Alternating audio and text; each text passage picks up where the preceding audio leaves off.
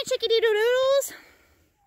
All right, my neighbor told me that these are called barred rock. What, what are the brown ones called? Just a standard chicken? Golden comet. A, a golden? Golden comet. Okay, a, the brown ones are called a golden comet and then a barred rock.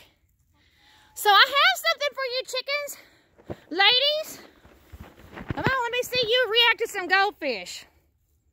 You think that, you think they'll like that?